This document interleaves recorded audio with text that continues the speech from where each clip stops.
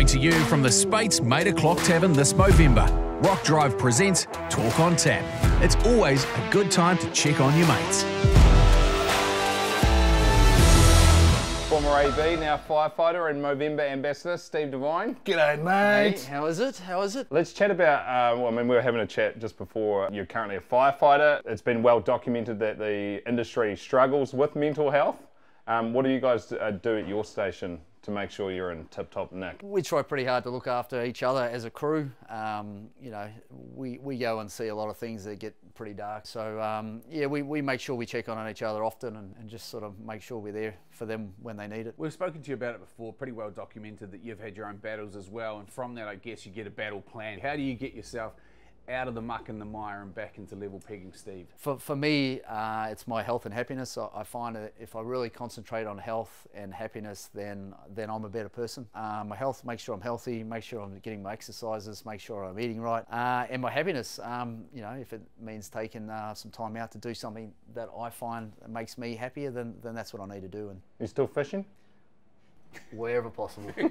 Just not catching, eh? It also can take you one, take you in the opposite direction as well. It doesn't matter if you're not catching, just as long as people think you're catching. Then It's not all shit fishermen say.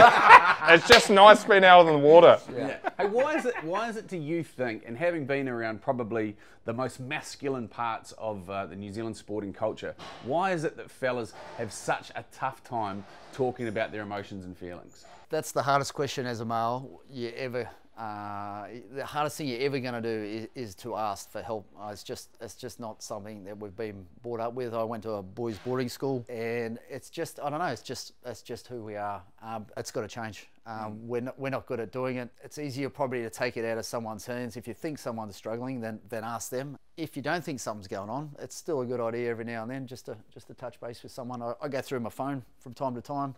I haven't spoken to them for a while and just uh, flick them a message, see how they're getting on. What does that conversation look like in terms of a text? I know that at uh, nz.movember.com you can go and get that whole conversation printed out for you, which has been mega, and I know so many people that have used it.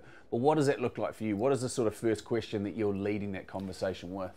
Everyone knows I'm a bit of an idiot, so I, I don't try and keep it too serious too too early on. It's just it's just like how, how you getting on and start starting to have a bit of a you know even if it's via text, having to have a bit of a chat and then and then sort of work into maybe a, a few deeper questions. But I find being the idiot that I am, if I hit the plate too hard, then you know it puts everyone on the back foot. So just just be yourself and just just have a chat, just check in on your mates and see how they are, and it may lead you down a path, it may not. It's about getting past the, uh, the first question, which is, how are you?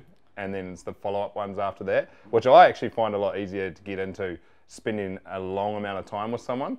You know, that's why fishing's good because you're out in the boat for ages, and if you're not catching anything, plenty of time for conversation. Well, if, you, if you're like me and you're catching lots, then then you've got to drive to a shit spot. So we're not catching anything. So then we can have a chat. Just in between, we on? Are we on? How are you, mate? We on? What works for you might work for someone else. Check on your mates this Movember and always. Head to Movember.com now to donate.